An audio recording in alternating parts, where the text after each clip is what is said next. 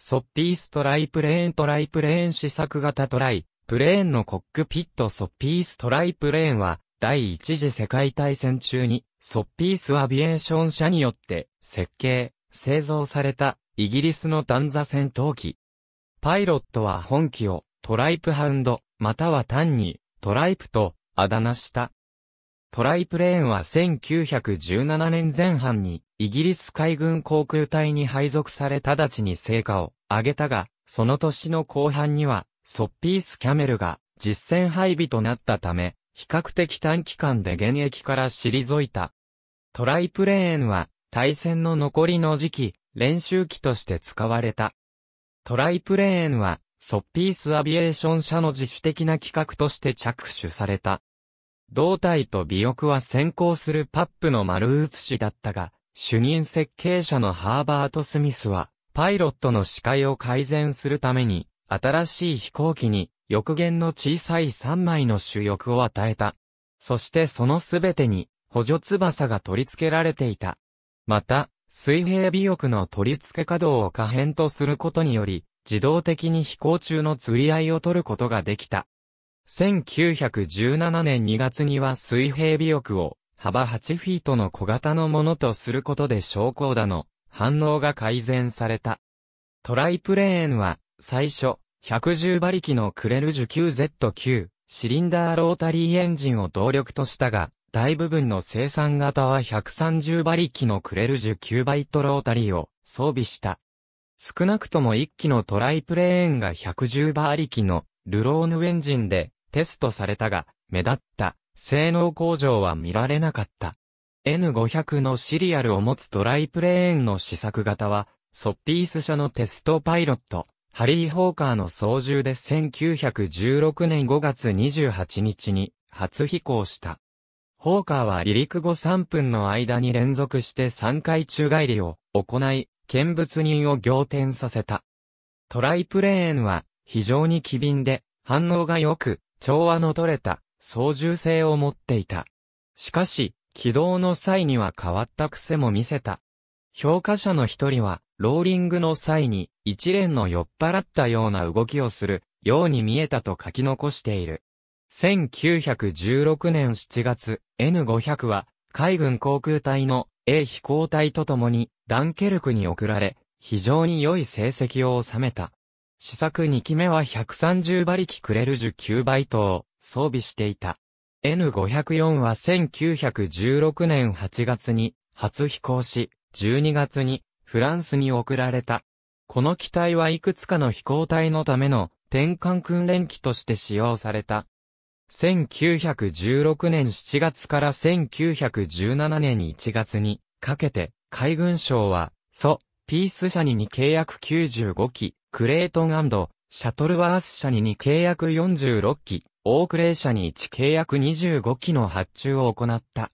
新型の飛行機を探していた、イギリス陸軍航空隊と陸軍省も、クレートンシャトルワース社と106機のトライプレーンの契約を結んだ。しかし1917年2月に陸軍省はそのトライプレーンの発注を海軍省のスパッド S7 の契約と交換することに同意した。生産は1916年後半に開始された。ソッピースとクレートンシャトルワースは海軍航空隊向けの生産を完了したが、オークレー社はそれ以前に航空機生産の経験がなく、わずか3機の生産を行っただけで、契約は1917年10月に取り消された。陸軍航空隊がクレートンシャトルワース社と結んだ契約は、海軍航空隊に移されることなく単純にキャンセルされたが、その理由は不明である。結局トライプレーンの生産総数は147機であった。海軍第一飛行隊のトライプレーンレーモンド、コリショーの乗るトライプレーン。コリショーは数機のトライプレーンを使用したが、いずれもブラックマリアと名付けた。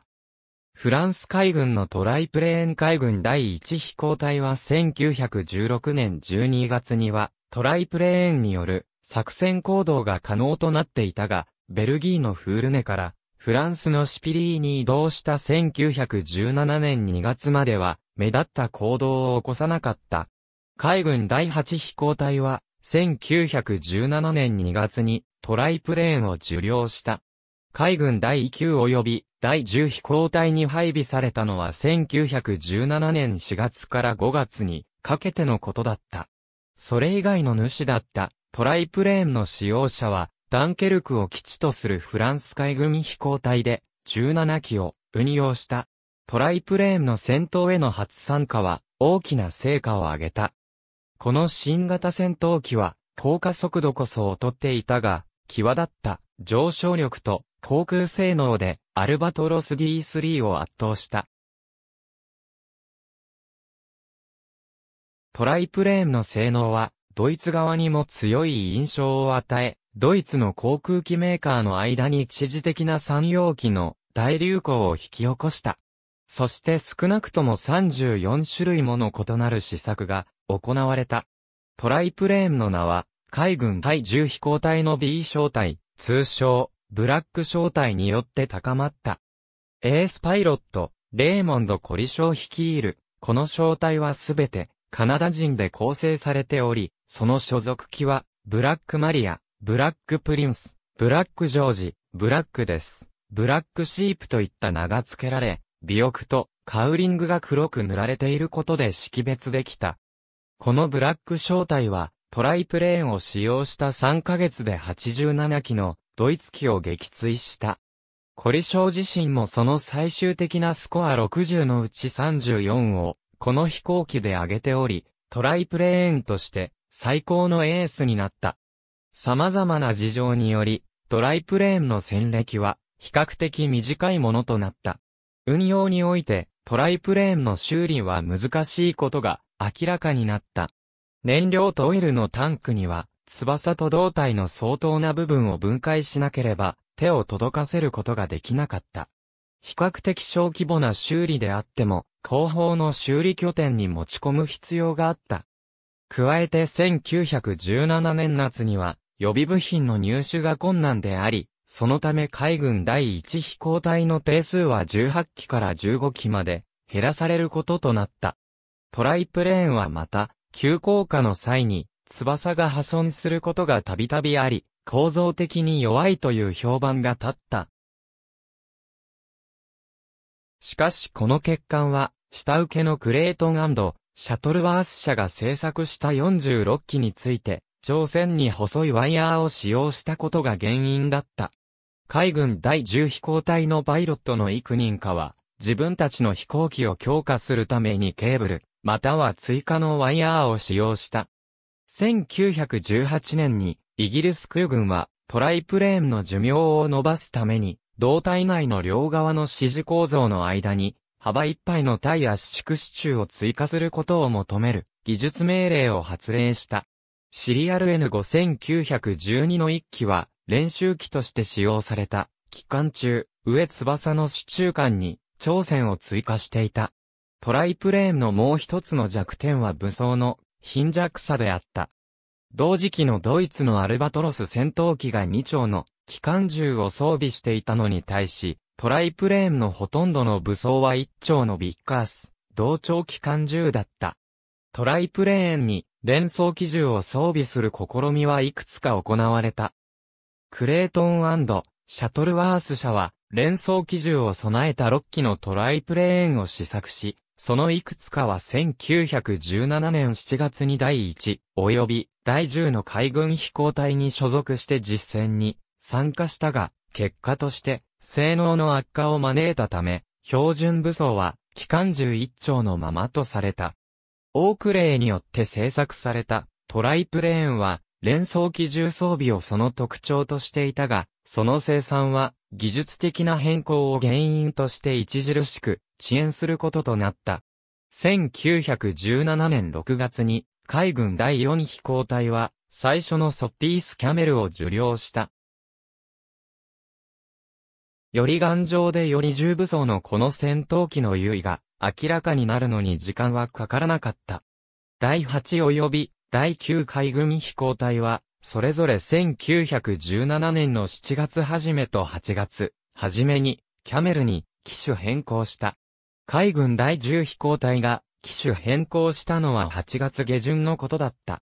余ったトライプレーンは海軍第1飛行隊に引き渡され、第1飛行隊は12月までトライプレーンを使用したが、その結果大きな犠牲を出すこととなった。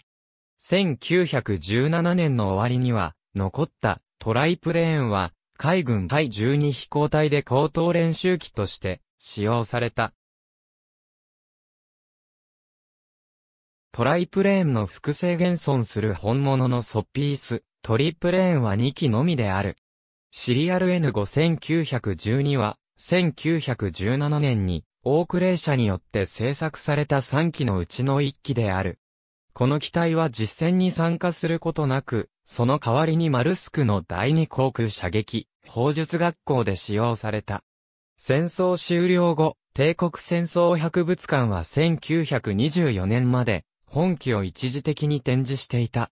1936年にイギリス空軍が本機を取得し、復元して何回かのヘンドン空軍ページェントで飛行させた。N5912 は現在ヘンドンのイギリス空軍博物館に保管されている。シリアル N5486 は1917年5月に評価のためにロシア政府に供与された。ロシアではこの機体にスキーを装着して使用した N5486 はロシアのモニの空軍博物館に保管されている。トライプレーンは人気が高く、現在博物館や熱心な個人によって複製が作られている。ノーザンエアロプレーンワークショップスはシャトルワースコレクションの著名な複製を作成した。この複製には海軍第8飛行隊のディクシー2の塗装が施されている。この複製が極めて正当的なものであることを評価して、サートーマス・ソ・ピースは、これがトライプレーンの現代における生産と言うべきものであると宣言した。スキーを装着したロシアのトライプレーン諸原製の武装。ありがとうございます。